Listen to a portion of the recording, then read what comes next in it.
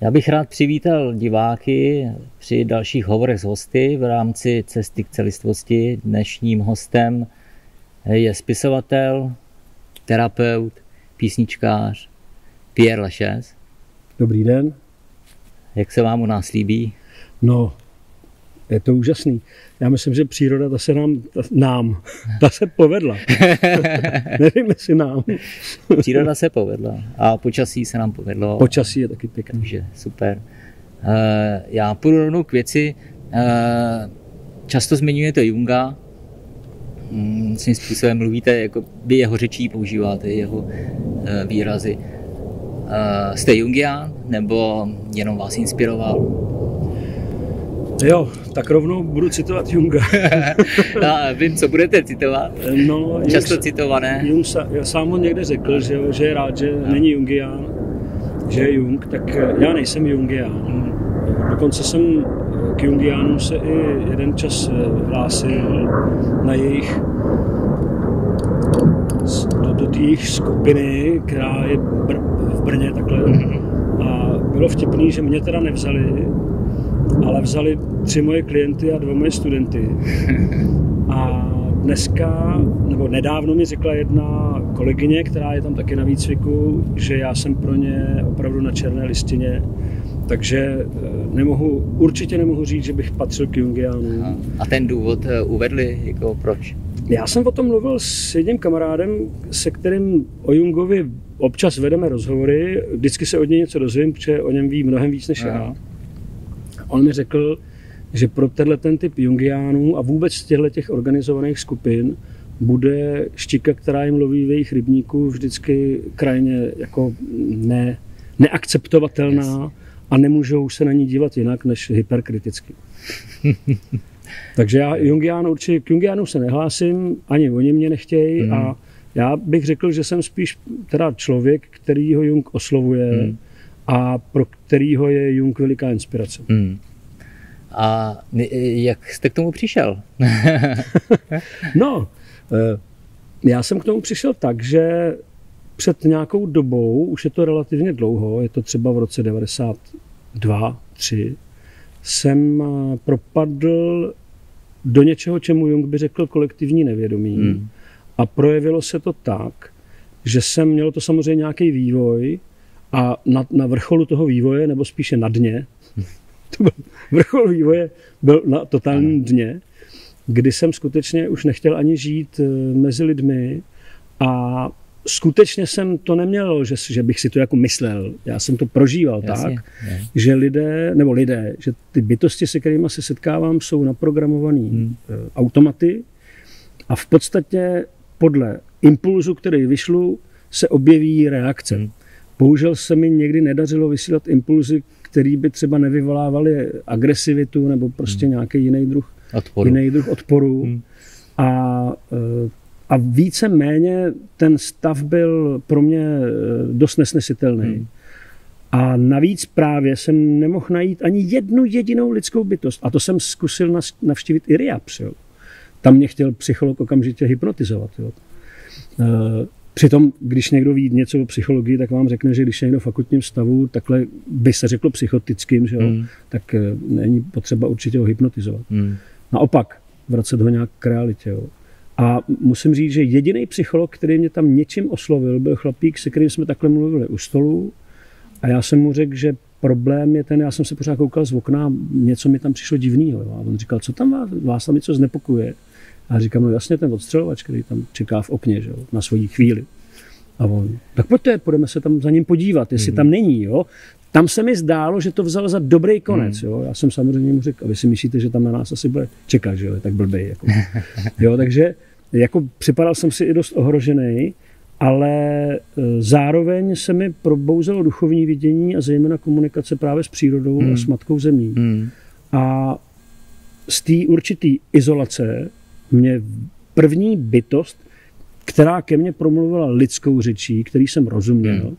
byl, když vynechám sny, tak byl, eh, byl Karel Gustav Jung. Najednou jsem hmm. četl prostě to, v čem já jsem byl propadnutý a v čem jsem se tonul, topil a byl jsem úplně ztracený, tak on to popisoval jako normální událost, v podstatě jako kýženou událost, jako konečně prostě Hmm. se duch dotknul tady nějakého androida Mm. a ukazuje mu to an- androidství vlastně a e, ten pro mě, proto já ho vlastně vnímám jako určitý typ záchrany pro Hmm. mě.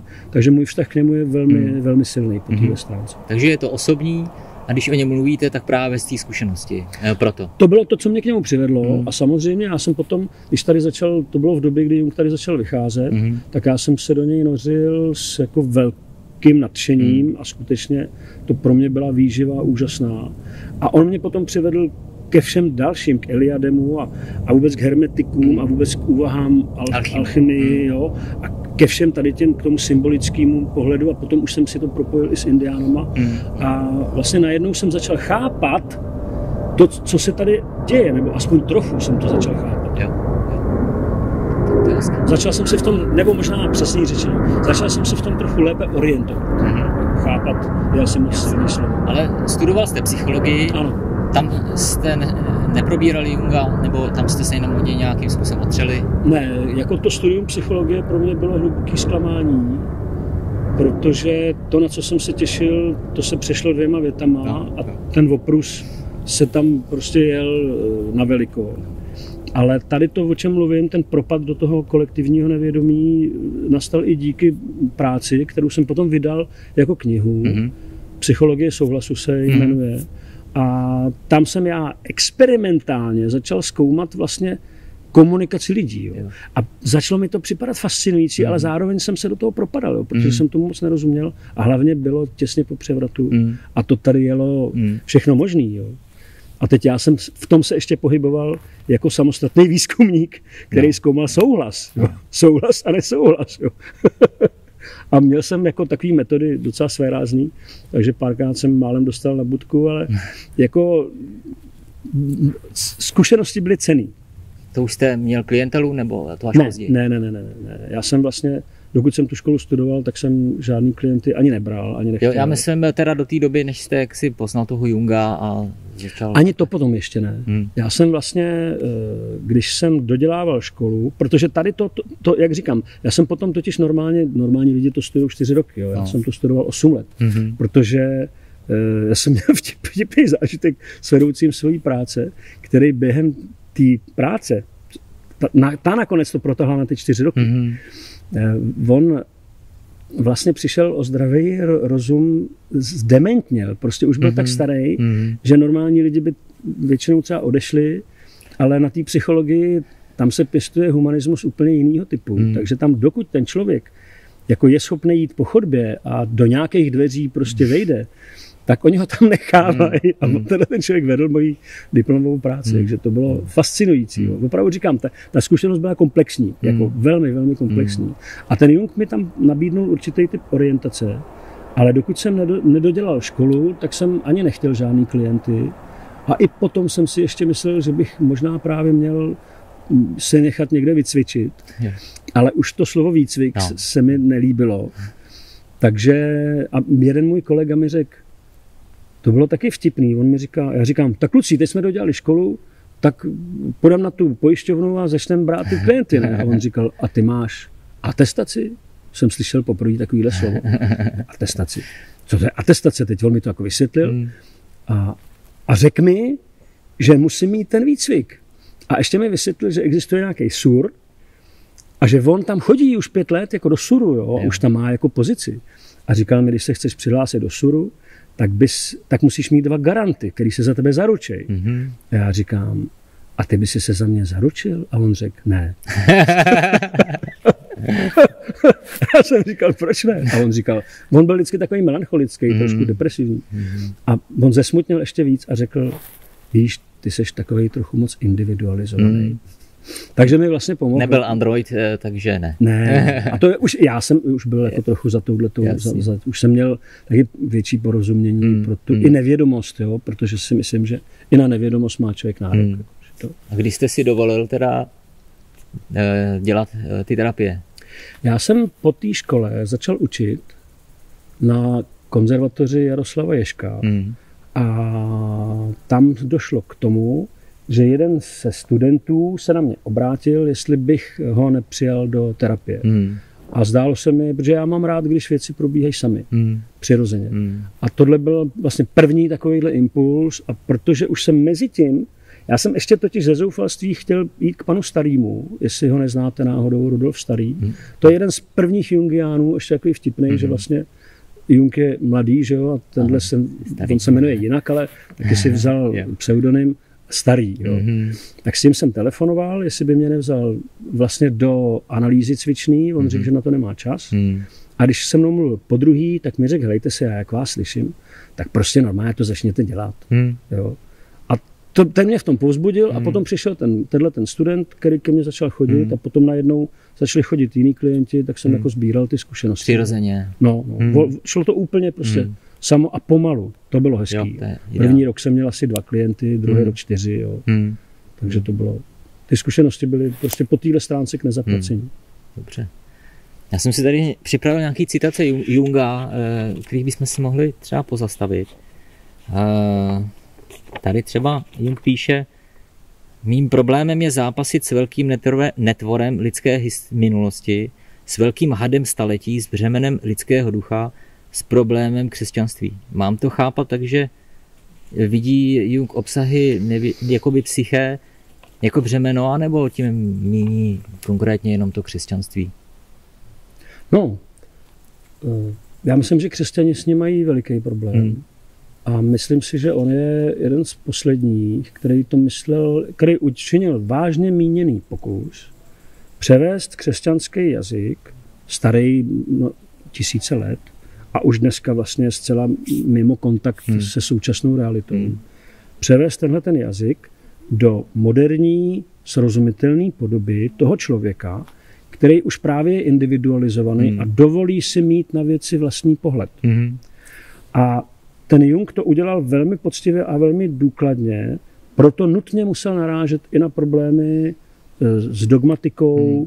s určitým typem interpretace, jo, s tím, čemu se říká bohoslovectví Hmm. a všechny tyhle ty druhy e, toho, těch reflektivních prvků. Hmm. A s nima on byl přinejmenším v, v rozporu, ale ne v tom rozporu, že on by je popíral, ale vždycky došel výrazně dál, Mm-hmm. než tam, kde se drželi oni. Mm-hmm. Takže on je chápal, ale oni pro, on pro ně byl heretik vlastně. Jo? Hmm. On byl v podstatě bráno středověkou e, mentalitou typický heretik. Mm. Jo, až hmm. on se hlásil ke gnosticismu, že jo? Ano. to znamená, a gnostiky, pokud vím, každý establishment velmi tvrdě vždycky zlikvidoval. Hmm. Jo?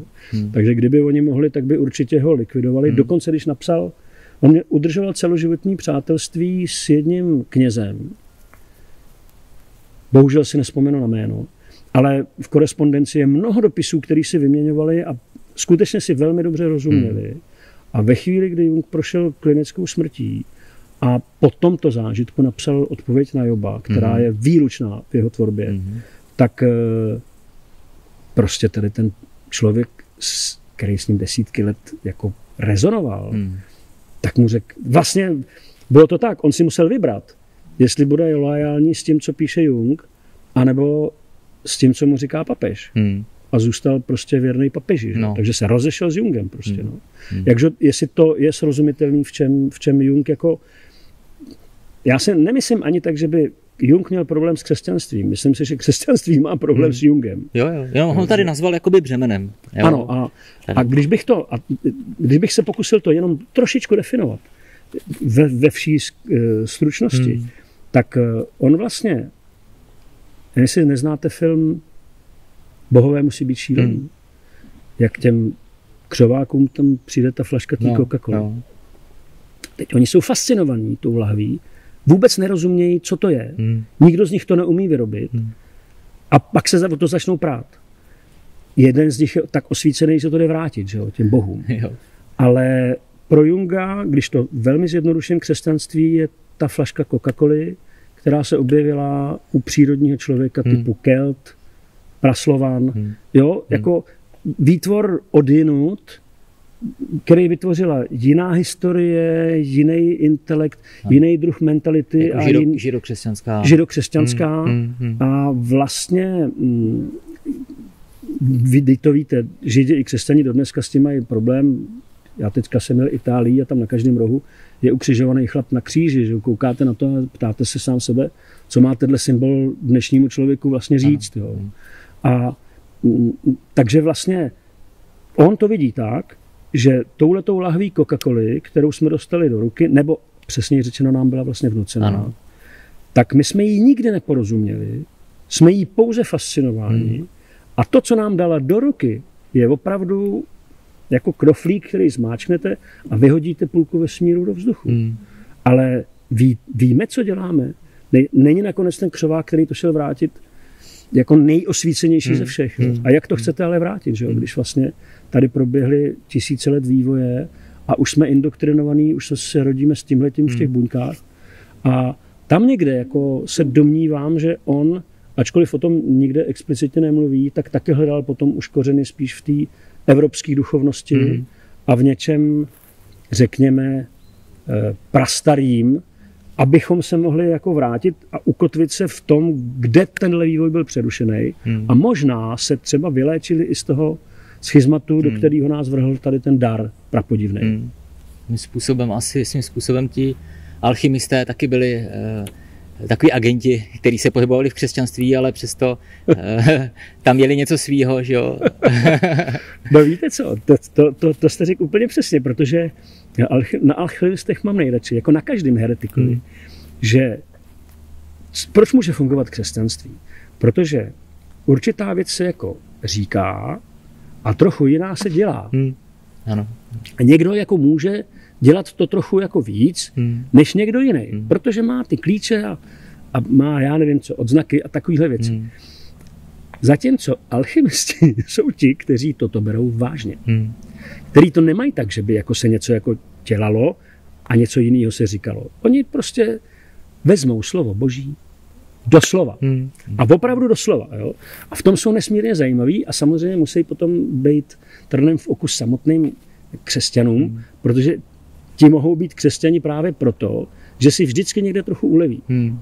když to nikdo nevidí. Hmm. Zatímco alchymista to nedělá. Hmm. Ten, pro něj Bůh je, on je vlastně tak trochu ten indián, jo, který opravdu věci bere vážně a doslovně. A, hmm. a jde hloubš. Jako. A jde hlouběji, hmm. a jde opravdověji. Jo. To je bylo první, co mě u Junga zaujalo. Jo. Že, to, že on to myslí opravdu. Hmm. A to bylo cítit hned, hmm. jo, že to hmm. nejsou nějaký jako řečičky. Hmm. No, oni šli tou symbolickou cestou, a logicky, když šli do sebe, tak naráželi na ty symboly. Že? Pak už je no, jenom jasně, popisovali. Že? Samozřejmě. No. A fascinující je, že ačkoliv postupovali většinou samostatně, hmm. tak když se pak dá k tomu samému, ke stejným, ano. nebo analogickým. Ano, ano, jistě. No. O tom, o čem mluví Jung potom. Ano. Protože on to jenom jakoby popsal, že jo, nějakým tak on to pro nás ne... rozumitelným On to taky nejdřív objevil, že jo? On hmm. to taky nejdřív prožil, taky se v tom nejdřív motal a topil a on měl přece v té červené knize píše o snu, kdy on s indiánem jsou za kamenem a kolem jede Siegfried. Mm-hmm. Hrdina, že jo, prostě mm-hmm. bohatýr. A on s tím indiánem toho Siegfrieda zabijou. Mm-hmm. A protože vlastně pro Junga Siegfried byl vždycky obrazem dokonalosti a hrdinství, mm-hmm. tak se najednou ptá, proč mám já a indián zabíjet Siegfrieda. Mm-hmm. My tomu vůbec nerozumíme. A on tam dokonce píše, že tam si myslím, že musel být fakt na hraně, že jestli nepochopí tenhle ten sen, tak bude muset zabít sám sebe. Mm-hmm. A já myslím, že to myslel zcela vážně. Mm. Nakonec Toho hrdinu v sobě. Přesně jo? tak, to mm. ego, že jo, ono mm. to ego je důležitý v určitý, pro určitý mm. vývoj a pak už Hmm. Zase přece jenom dobrý s Indiánem si na něj počkat. A... Už ohrožuje vývoj. Přesně. Dobře, já si, já si pojám na další citát. Kde Jung eh, říká, že nevědomí je ta část psyché, která obsahuje a dále předává společné psychické dědictví lidstva, přičemž archetypy označuje jako destiláty lidské zkušenosti. Mm-hmm. Jo? Mm-hmm. A mě tam zase vyvstává ta otázka jako u toho křesťanství, kdy to vypadá tedy jako něco, co někdy vzniklo a postupná zkušenost, která se nabalovala lidstva, jako kdyby to bylo tedy něco, co je tady jenom dočasné a jako něco, co se dá říct břemenem, ale ne úplně v tom negativním smyslu. Tedy jsme pod nějakou vládou nebo eh, ovládání nějakými nevědomými silami, které tady vznikly za nějakou dobu té lidské zkušenosti. Jo? Je něco zatím? Protože logicky z toho vyplývá, že ano. Pokud něco vzniklo, tak to musí být na nějakém podkladu. Tedy co je zatím nevědomým? Já bych hlavně řekl, že tady, ten, tady ta otázka, a bude to otázka, která zřejmě je z těch z rodu těch věčných otázek, že když na ní hledáme jednoduché odpovědi, což pomůže alespoň se v nich malinko zorientovat, tak se podívejme na zvíře. Zvíře je náš, z něj jsme vzešli, povstali hmm. prostě, jo? mezi náma a zvířetem rozhodně jako není žádný zásadní rozdíl. Hmm. Ale když se dneska díváte na zvíře nebo nějakým způsobem s ním komunikujete nebo s ním sdílíte prostor a začnete k němu mít vztah a vidíte rozdíly mezi hmm. sebou a zvířetem, hmm. tak vidíte, že zvíře je v něčem, nevím jestli šťastnější, ale rozhodně celistvější, hmm. protože nemá tu zvláštní rozčleněnost na to, co se děje samo hmm. a to, co jakoby řídím svojí vůlí. Hmm. Protože u zvířete bychom skoro mohli říct, že se to prostě děje samo. Hmm. A to, odtud jsme my vzešli. Mm-hmm. A tomu já bych řekl nevědomí. Mm-hmm. To je to, co se děje prostě samo. Mm-hmm. A člověk jako specifický tvor vystupuje tady z té jednoty a tím, že s ní vystupuje, tak ji začíná vidět, mm-hmm. ale už v ní jako není. Mm. Nebo je a není. Ano. Jo, dostává je se paradox. Do, ano, dostává se do ambivalentní situace mm. a to je situace člověka. Takže Mm, jako jestli někdo chce hledat ještě něco, co je za nevědomým, pak bych řekl, že to chce spíš ta mysl, která to jako proskoumává a propátrává. Hmm. Možná, že hmm. jako nejzajímavější na tom, co říká ten Jung, je, že když pak děláte komparativní studium třeba duchovních nauk, tak v podstatě zjišťujete, že jejich materiál je nevědomý. A analogicky podle svého temperamentu k němu přistupují a docházejí vlastně téměř, bych řekl, to, zase k analogickým totožným zjištěním. Hmm. Že zatím někde je asi ticho, nebo prázdnota, prázdnota která je hmm. plností, hmm. jo, jako hmm. to, z čeho se všechno rodí, čemu se říká pleroma, jo. Hmm. Jakoby to, ať si každý potom už nachází podle sebe, jo. Hmm. Ale v zásadě se já domnívám, že za nevědomým prostě není vůbec nic, protože si nedovedu představit, kde by nevědomí končilo, že to je podobný jako ten vesmír. Jo? Hmm. Jako, hmm. Kde končí vesmír? Hmm. Takže to je eh, ten obsah toho prázdného prostoru. Ano, je to vše a hmm. nic. Hmm. Jo, je to, jakoby někde je ta krásná definice, je to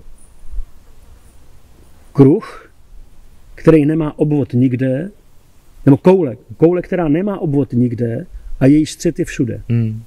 Hmm. To je pro mě velmi krásná definice. Hmm. Definice nevědomí? Ano, hmm. ano. Jo, nebo takhle přímo on už definuje Jung bytostný já, hmm. protože vlastně e, praktická zkušenost říká, že když se člověk dostává do nevědomí a začne s ním komunikovat, tak většinou první, na co naráží, je ten bordel, který v sobě ano. má. Jo, ten domestikační hmm. vlastně marasmus. Hmm. A ten musí nějak překonat, protože ten ho jako tříští, ten ho roz, rozděluje a e, jakoby dezintegruje. Jo. A on, aby mohl to integrovat, tak nejdřív musí prožít tady tu dezintegraci a potom jako ty alchymisti hmm. spojuje ty protiklady. Hmm. A jakmile je začne spojovat, tak vidí, že i nevědomí má určitý struktury, kde na začátku je nějaký stín hmm. a nějaký nemoc jako přátelský a příjemný energie, hmm. ale někde tam na konci dochází k tomu bytostnému já, hmm. tedy k tomu sjednocení a to už potom asi člověka směřuje s tou existencí a s celým tím, s celým tím bytím. Mm-hmm. Jako takovým. Mm-hmm. Bytostné proto, že to je teda centrum bytí. Jo? Ano, že to ano. je nejblíž tomu uh, opravdovému. Třeba ten starý, Rudolf starý, když už tady byl zmíněný, tak ten bytostné já překládá jako své bytí. Mm-hmm. Jo, on, on vlastně v, něm, v Němčině to je das selbst, mm-hmm. To je asi taky nejpřesnější v té Němčině. Do té češtiny se to překládá jako bytostné já, hmm. ale mně se třeba své bytí velmi líbí, hmm. až na to, že zase vyvolává, že by to mohlo být nějaký, nějaká své vole nebo něco takového. Hmm. Ale spíše je to své bytí, tedy když je svébytný člověk, že jo? Hmm. víme, co tím chceme hmm. říct. Ano. Eh, to bytostné já evokuje jako, že, protože to je podstatné jméno, jo, tak to evokuje už prostě pojem, představa něčeho statického. Ano, ano. Asi to své bytí je lepší, protože to se děje a vlastně ta naše postata je vlastně dění a ne něco no, statického. Jasně. Jo? Ježíš svým jsem, který jsem, ano. To, ne, to nejde vyjádřit líp. Hmm. Hmm. To je prostě nějaký proces a člověk se v něm účastní a nějak se mu odevzdává, že jo. To dění. Ano, ano. ano. Hmm. To jsem tady měl taky teda něco od Junga k individuaci, eh, která k tomu odkazovala. Eh, Jung označuje individuaci jako oproštění se od daných podmínek společenské, kulturní, sociální povahy a odvážení se k sebe uskutečňování, což ano, je to, co ano. jsme teď řekli, vlastně nechat sám sebe sedít. Jo. Potom teda moje otázka k tomu je, uh, jestli jako existuje vůbec nějaká cesta, uh, jako individuace je cesta, protože když to takhle pojmu, ve chvíli, kdy uh, se individuju, tak se vlastně už děju. A tam už potom... Jo, on má krásný, už není cesta, že jo? On má nádherný příklad. Jo. Samozřejmě, co člověk, to cesta. Akorát, že jak o tom mluvíme, že alchymista sice jde samostatně, ale přesto, když potom provede srovnávání, tak zjistí, že je to analogický s mnoha jinýma dalšíma, kteří taky šli svojí cestou, hmm. ale dochází k něčemu velmi podobnému. Jung má geniální příklad. Říká, tím schrnem možná něk, několik těch hmm. otázek, které tady už padly. Jo. Křesťané říkají, nejvyšším ideálem křesťana je imitácio Christi. Následování a napodobování Krista. Hmm. Mnoho křesťanů to bude doslovně a potom si mají velký problém, protože vlastně ta doslovnost hm, postrádá kreativitu. Hmm. Hmm.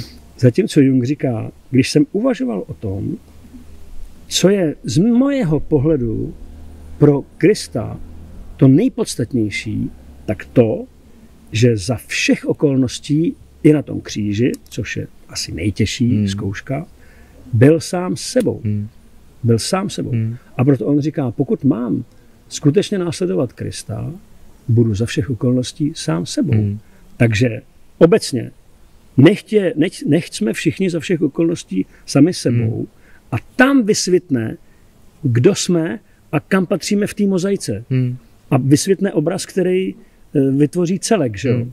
Ale nemůže ten obraz vysvětnout, když, je, když lidi nejsou sami sebou a tudíž vlastně eh, tvoří nějaký schéma. Ano, že? Vyvstává okamžitá otázka, jak být sám sebou? Ta je dobrá. Já si myslím, že to je skvělá otázka.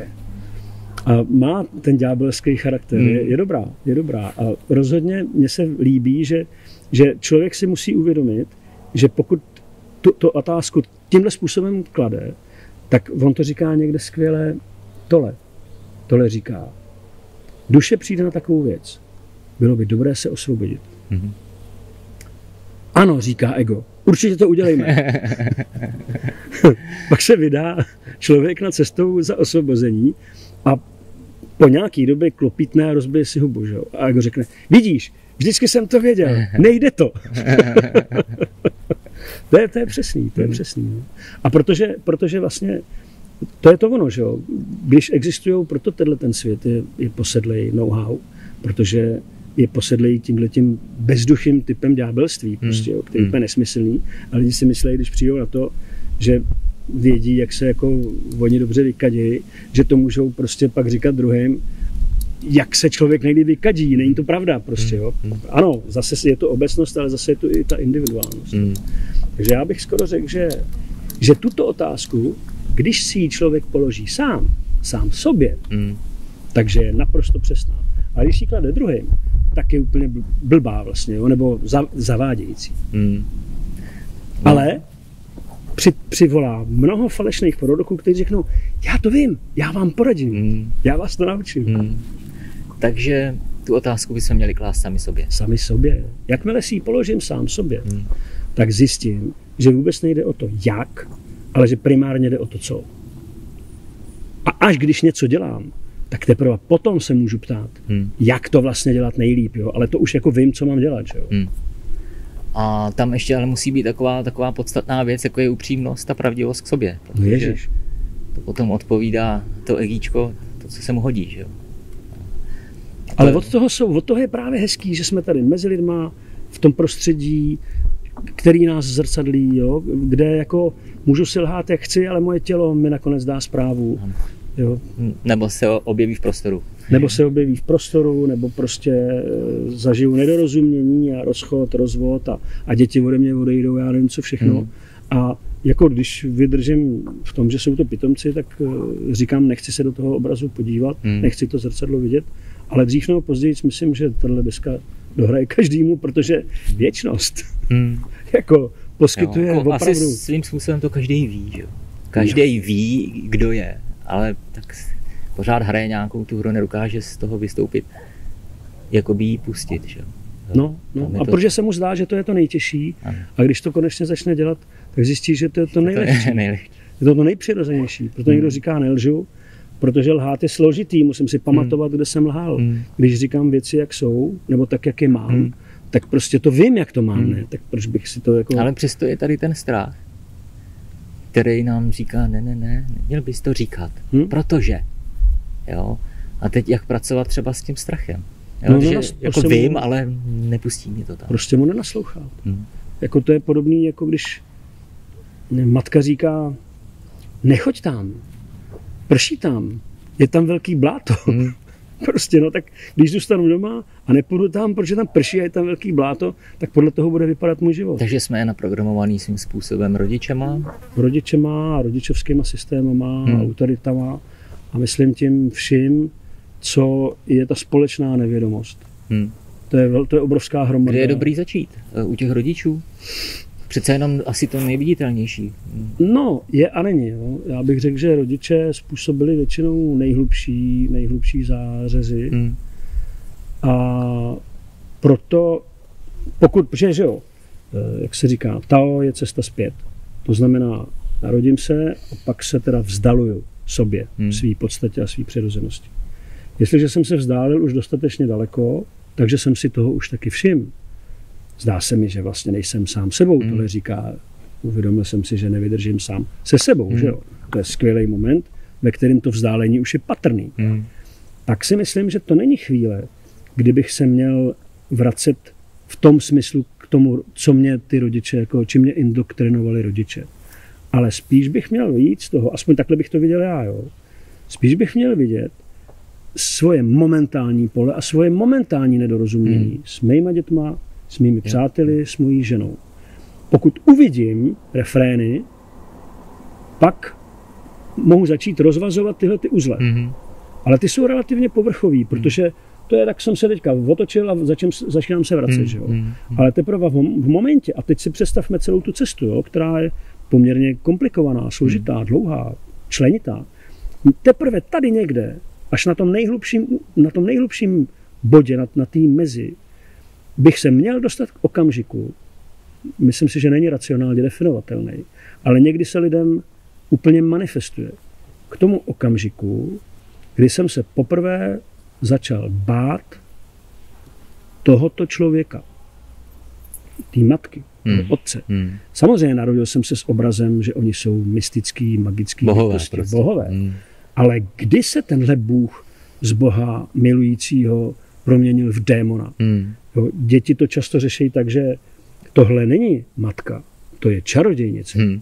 Já jsem to opravdu prakticky zažil. Jo. Hmm. I doma jsem to zažil hmm. po nějakým těžkým konfliktu, kdy moje žena se nějak hodně vylila na dítěti, hmm. tak jsem potom jsem zkoumal, co potom bude. A hmm. opravdu za dva dny na to přišla, a to jí bylo dva, tři, jo, hmm. že ve snu jí pronásledovala čarodějnice. Hmm. To je způsob, kterým se z toho vyvazuje hmm. to dítě. Hmm. Protože nemá ještě ten aparát, že jo. Hmm. Ale my už ten aparát máme, takže v tenhle ten jeden moment bych mohl si všimnout, že tu, tu zásadní kompetenci, se kterou jsem se narodil, hmm. jsem předal a delegoval do rukou, do kterých nepatří. A to jsou všechny, které nejsou moje. Hmm. A to je klíčový moment, ale ten je nejhlouběji uložený. A než se k němu člověk dostane, tak si myslím, že musí projít opravdu poměrně dlouhou a členitou hmm. cestu. Ale to, tento moment bych označil jako moment skutečného, hlubokého a možná nejhlubšího osvobození, protože potom se vracím zpátky k dětské čistotě, hmm. k nezaujatosti, k otevřenému srdci. Jo, a přitom už, jak říkám, disponuju aparát, aparátem, který mi říká, ano, je to semafor, svítí tam červená, prostě hmm. ne, hmm. blbost jezdí do křižovatky, hmm. jo, a tak dále. Hmm. Mě to evokuje, když slyším bráci zpět kompetence, což je v pořádku, ale evokuje to to eh, takhle jako přivlastňování toho ega, který říká, beru si toto, beru si toto, jo. takový to schromažďování. Jestli by tam nemělo být i to, i to B, tam na, jakoby nádech, tak i ten výdech jako pouštění. Tedy pouštím toto a e, zároveň beru si toto. To je velmi přesný, ale ona je tam ještě jedna věc, jo, a to jsem rád, že jste to takhle přesně pojmenoval, protože ten moment, ke kterému se vracíme, je zároveň moment z rodu ega. Hmm. Tam se ego ve skutečnosti rodí, hmm. protože ego přichází ve chvíli, kdy se ptám, jak mám v tomhle světě přežít. Hmm. To je ta otázka, která je legitimní a to dítě si ji položí. A hmm. pak přichází ego a hmm. říká, já ti to pohodě, naučím. Já to naučím no. Ale fakticky to znamená, že vyrvu z celku svý duše dost podstatný kus hmm. a na něj deleguju ty kompetence. Hmm. Proto, jak bych to řekl, proto ztrácím identitu, protože identitu vlastně ve skutečnosti ztratit vůbec nemůžu, hmm. ale tímhle způsobem se to rozděluje. Hmm. Ztrácím svoji identitu a místo ní mám identifikaci. Hmm. To je ten rozdíl. Hmm. Jo, a, pak ta, a, a to ego dělá ty identifikace hmm. a říká, ano, tohle je taky moje kompetence a tohle je taky moje ano, kompetence, ano, ano. ale to ta bytost vůbec neřeší, ano. protože ona je těma kompetencema. Ano, ano. Jo, v, tom, v tom je to, jakoby, jo, jo, tam, a vím, že je to těžký popsat, ale ano kdo to zná, tak to zase se mu to vysvětlovat nemusí jo, a kdo to neví, tak jo, stejně... Mě šlo o to, aby se to zase někdo nevyslovil doslovně. Rozumím. Teď si tady začnu brát vaše kompetence, takže naval. Jako jo, ty, ty. jo. No jasně, oni proto to tak hezky říkají ty indiáni, že Oni říkají, zkuste si představit, že jste uzavřeli se svým rodičem dohodu, eh, hodnej chlapec nekřičí. Hmm. Pak najednou zjistíte, že žijete jako úplný prostě pitomec už v totálním koutě, už přes vás takhle šlapou všichni, ale vy pořád dodržujete tu dohodu, hmm. protože chcete být hodný chlapec, ano. jo. A, a vy potom už máte tu možnost tuhle dohodu zrušit, že jo. Hmm. To se netýká hmm. ani tak toho rodiče, hmm. to se týká ano, přece mě. Že jo? Ale ty dohody třeba pak už nevidím, že jo? protože prostě jsem ten automat, ten Android a e, jedu v těch dohodách, aniž bych si je třeba uvědomoval.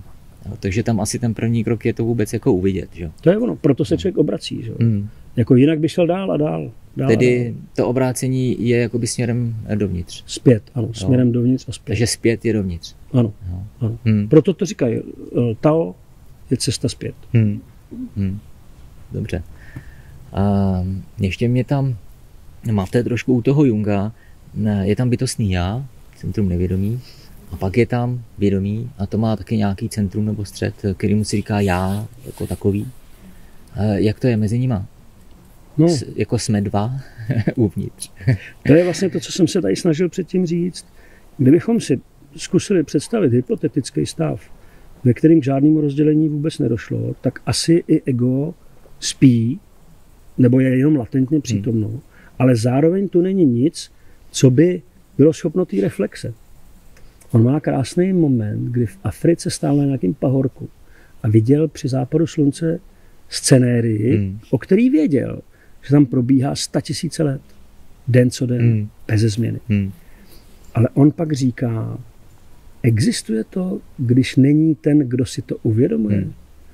Tam někde je to, uh, ta, Bůh stvořil člověka k obrazu svému. Hmm. Ale proč k obrazu?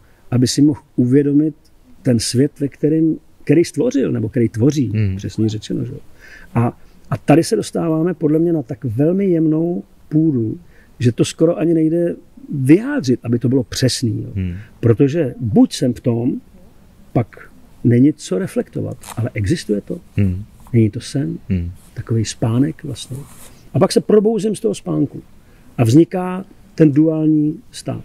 A teď eh, Domnívám se osobně, že na tom, a to je spíš teď mluvím ze zkušenosti, že to ego je nezastupitelný v té roli toho hrdiny právě, který musí to roztrhávat, rozdělovat, vytvářet to napětí a vlastně tím jako dramatizuje ten svět, tím se ho můžu uvědomit, tím ho můžu uvidět a samozřejmě zároveň mě to zasahne utrpením, hmm. nepochybně, hmm. nemůže to být jinak. Ale když to, to znamená, že tam centrem toho vědomí by teda bylo to já, mm-hmm. respektive ego. Ano. Ego.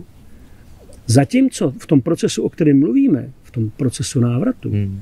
kdy už ego nepřiznávám ty kompetence, o který ono jako Usiluje. usiluje a Hmm. bojuje a různým způsobem o ně čachruje. Hmm. Ale já už moje nepřiznávám, vracím, beru si je zpět, Hmm. nalézám je opět jako někde jinde. Kdo si je bere teda? To je právě ono. A třeba Indové tomuhle říkají, to je já. Hmm. Ne vždycky, když člověk říká já, Hmm. tak, eh, to mlu, tak mluví ego. Hmm. Ne. Eh, Ego je obraz, já, je to zrcadlový obraz, Hmm. nebo možná spíš pokřivený obraz, ale skutečný já je to já, který stvořilo to tělo z těch buněk, který pořádá ty procesy, který vytvořilo ten můj svět, ten můj prostor v tom, jak já vidím ten svět. Jo. Hmm. To je, já bych tomu řekl, a možná, že to je zase zpátky to své bytí, ta přirozenost. To konec konců Jung říká, individuace, procesem individuace se stáváme tím, čím jsme vždy byli. Hmm. Neboť ničím jiným být nemůžeme. Hmm. A tam, když člověk vlastně se dostává tady k tomu, že nemůžu být ničím jiným, než tím, čím, čím jsem vždycky byl. Hmm. I kdybych chtěl být něčím jiným, Hmm. tak zase zjistím, že to stejně nejde. Hmm. A v tom je asi to úplné osvobození. Hmm. A to je to já. Můžu to teda přirovnat, to já, jako k nějaké prázdné nádobě, kde to, o čem tady mluvíme, jsou jenom ty obsahy uvnitř té prázdné nádoby. Já, podle mě je to obojí. Podle mě jsou to i ty Je to obsahy, všechno. i ta nádoba. Je, je všechno. Jo, Hmm. jo. Protože eh, já nevím, k čemu by se to nejlíp dalo přirovnat. Když tak o tom přemýšlím, to je, eh, já si pořád myslím, že, že nejlíp se to hledá nahlídnout subjektivně. Eh, Objektivně to možná je i neviditelný. Když to nepřekročí určitou míru. Od toho máme vězení a takovýhle jako instituce. Ale jinak je to vlastně neviditelný. Jung někde říká, ty největší bitvy se neodehrávají na historických polích a na vojenských polích. Hmm. Ty největší a nejdrsnější bitvy svádí člověk ve svém nitru, Hmm. ale víme my, oč, jaká bitva probíhá v člověku, který nás potkal na ulici. Hmm. Jasně, že to nevíme. My si to jenom myslíme. Hmm. Nevíme o tom vůbec nic. On to ví. Hmm. A on ví, nebo cítí, někdy to ani neví, někdy to prostě cítí, prožívá, že tam je něco v nepořádku prostě. Jo. Jinak by nemusel svádět ty bitvy. Že? jo. Hmm. Ale v tom se asi to já utužuje. Jo. Možná, že ještě přesněji to říkají ty indiáni. Jo. Když, říkají, když se jich ptáte, co je smysl existence, Hmm. tak jako zeptejte se Evropana. Že? jo. To nejdřív se tak začne mračit, potom prostě začne něco křičet, že jako co to je za otázku. Jako, Hmm. a že o tom nic nevíme. Ale indián, který se netrápí blbostma, řekne smysl existence je v tom, že světelná duše, světelná podstata vstoupí do světa stínů. Můžete se ho zeptat, jak to udělá. On vám tato řekne, no vstoupí do toho těla. Hmm. On, to, on si to nekomplikuje. Hmm. Prostě světelná podstata vstoupí do toho těla, vstupuje do světa stínů, aby se naučil rozlišovat mezi světlem a stínem. Hmm. A proč to dělá? Zeptáte se Indiána a Indián vám řekne, aby posílil svého ducha. Hmm. Proto. Hmm. To není v tom, to ne, v tom není nic jako A jak složitý. dlouho jsme v té posilovně? Aby, jak dlouho tam máme strávit, aby jsme byli jako nabušený? No, oni taky říkají. Oni říkají, v ideálním případě, v optimálním, člověk umírá silnější, než se narodil. Hmm. A když toto absolvuje opakovaně, Hmm. neříkají to v číslech, tak potom už vlastně síla jeho ducha je vyrovnána se silou ducha stvořitele Hmm. a potom už nemusí tohle absolvovat. Hmm. Hmm. Jo, potom vlastně už pro něj buď se nerodí vůbec, anebo se rodí pro, pro zábavu, Hmm. ale rozhodně ne proto, aby jako tady nějak dřel a, a jako trápil se. Hmm. Takže to je něco jako osvícení, už nemám potřebu se narodit. Třeba. A nebo, nebo mám chuť se narodit. Hmm. To je úplně jedno. Jo, jako protože už to, co dělám, dělám z nějaký svý, řekněme, jako vědomí rovi- roviny. Hmm. Dělám to ne, protože já jsem to někde teďka napsal do té knihy. Většina lidí se rodí proto, že jsou staženi silou svých skutků, Hmm. nebo silou nevědomosti Ano, svých skutků. Hmm. Zatímco jsou lidi, kteří se rodí prostě proto, že mají chuť. Hmm. Jako, to je jejich prostě věc. Taky se nemusí, může se na to vyprdnout, že jo. Ale Hmm. pak se řekne, ty, teď je to dobrý mejdán, jako. Svým způsobem jo, ale eh, když prostě člověk eh, nebo ta duše vystoupí z toho těla, tak si třeba uvědomí, že to bylo utrpení eh, po většinu života ve hmotě, tak třeba se na to nekouká jako na ten mejdan. Jo. Pravděpodobně potom stržena nějakými těmi nevědomými silami do toho dalšího zrození, nebo tou karmou, co si nás střádala. O tomhle takhle to říkají buddhisti, že? Hmm. ale Jung má pro mě teda daleko zajímavější disciplínu, hmm. který nemá moralistní charakter. Hmm. On říká, že vlastně, a to si myslím, že, když to řeknu příklad, teď mi vyprávěl jeden klient, měl jsem sen o kamarádovi, který umřel. A říkám mu, jaký to tam je? A on, to je, to je skvělý. To je jako kdyby si byl na nejlepším hotelu, kde máš přístupný všechny programy v celém vesmíru a přepínáš si je, jak chceš. Hmm. Ale dovnitř jako nemůžeš. No, a Jung, Jung vlastně říká, eh, my když umíráme, tak eh, tím končí vlastně vývoj. Protože jestliže si mám něco uvědomit a mám něco fakt zrealizovat, hmm. tak to můžu udělat Za tady. Hmm. Protože tady jsem zatemněný. Hmm. A krok, který udělám, ač jsem zatemněný, ale dejme tomu, ten krok dává smysl, tak on je jako skutečný hmm. a on mě opravdu někam posune. Hmm. Zatímco v momentě, že rozumíte, nevidím za kulisy, Hmm. Teď se jako zvednu, teď všechny ty za kulisy, vidím ty za kulisy a říkám si, jo, vidíš to, teď, teď je to jasný. Hmm. A jasný. Samozřejmě, že to je jasný. Akorát, že už je to jako zbytečný, že jo, protože to mimo hru. ta hra se dohrála. no, jo, jako, proto, proto on vlastně, jak říkám, nemá to moralistní, on říká, jakmile duše odchází do pleromatu, odnáší si tam s sebou svůj vývojový stav, svoje hmm. vývojový stádium, ke, ke, ke kterému dospěla tady. Hmm. A Protože tady ten vývoj samozřejmě probíhá dál. Tak se dřív nebo později stane, že ten pozorovatel, který kouká na ty kanály a přepíná si mezi nima, jim přestane rozumět. Mm-hmm. Řekne si, te, tak já když jsem odcházel, hráli se tam detektivky a kuchařky, jo, teď tam jedou nějaký úplně jiný modely. Jako. Co s tím budu dělat? Mě už nebaví se na to koukat, protože tomu nerozumím. Tak mi asi nezbyde, než se tam narodit znovu, mm-hmm. abych s tím srovnal ten krok, s tím hmm. vývojem, jo? Hmm. protože jinak se stanu jenom takovým přízrakem. Že jo? Hmm. A Jung třeba má výborný jeden z nejlepších vtipů, když říká, proto usiluju o to, abych svou dobu předběhl alespoň o několik tisíc let, neboť rád bych si odpočinul. Hmm. Ano, to vypadá, ono se říká, že předběhl skutečně. No, výrazně. A v dnešní době ještě pořád? Je ještě napřed pořád? i v dnešní Pořád době. ještě je, myslím, hodně, hodně. Nestravitelný pořád ještě pro dnešní. Naopak, on začíná být, teď teprve mu lidi hmm. začínají vlastně rozumět. Hmm. V době, kdy, kdy tvořil, tak byl považovaný za obskurní, eh, obskurní úkaz, hmm. Ale teď, jak vlastně probí, začala probíhat fakt reálná transformace a skutečně lidi jako hledají cestu, hmm. tak hledají jako skutečný, řekněme, autority, který mluví zevnitř k hmm. člověku. Že hmm. cítím, že tam je to podložený hmm. nějakým, nějakou silou. Takže Jung, myslím, hodně začíná být eh, daleko srozumitelnější, daleko jakoby nevím, debilní slovo populárnější, jo, protože to je strašný slovo, no. ale myslím si, že mm, jako při, přístupnější takhle. Mm. Začíná být přístupnější. Jo. A možná, že ten chaos je tak velký, že mnoho lidí podstupuje i tu šílenou příšernou práci s tím, jako číst ty jeho knihy. Mm. Mm. To se vlastně, to není rozhodně jako mm. počinková četba. Mm. No já jsem někdy četl, že on nějak den před svou smrtí měří svý dceři, že už na to přišel a že jak to asi bude, že si to ještě musí ověřit a pak už jí to jakoby nikdy neřekl. Uh, nevíte, o čem mluvil? to nevím. Na ani závěr tady, bychom... Ani, ani tady ten detail neznám. Ne, dobře. Ne. Tak jo, no, eh, já myslím, že jsme vyčerpali téma a bych to jako uzavřel, děkuju. Taky děkuju. A rozloučíme se.